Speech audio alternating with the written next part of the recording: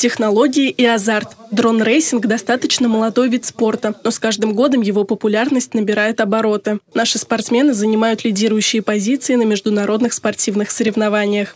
Самаре прошла пресс-конференция, посвященная перспективам развития этого направления. Представители Федерации гонок дронов рассказали о том, как сейчас развивается этот вид спорта, о предстоящих соревнованиях и обеспечении инфраструктуры для тренировок. Наш регион, он имеет все возможности, и желательно, чтобы наш регион занял какую-то доминирующую позицию именно в этом направлении. Сегодня в Самаре в рамках нацпроекта «Образование» специальным оборудованием активно оснащают технические кружки. А уже в сентябре текущего года в 17 общеобразовательных школах региона откроются специализированные классы и кружки технического творчества, которые позволят развивать этот вид спорта. Все в наших руках.